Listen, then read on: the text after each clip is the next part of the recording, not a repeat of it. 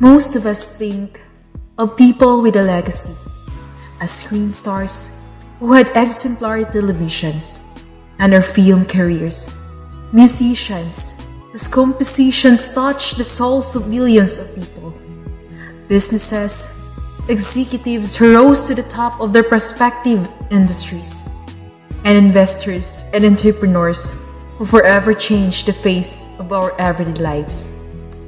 Yes, those people have created legacies on a national and perhaps global scale.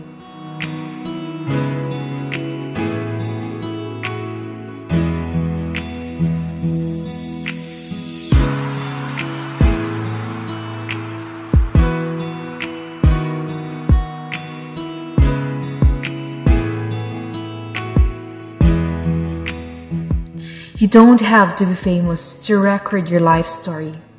Legacies aren't necessarily meant to touch the masses. Most people create a legacy in a more modest scale with the people they touch throughout their lives.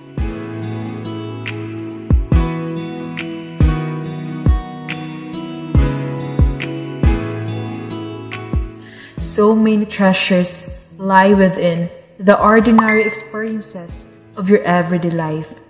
The impact of your legacy can be deeply felt by those close to you, those to whom you imparted words of wisdom, and those who learned firsthand by your daily examples.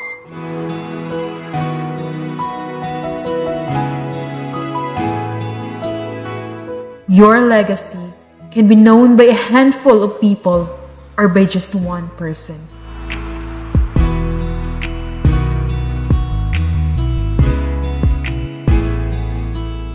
Passing in your positions is not the only way to remember.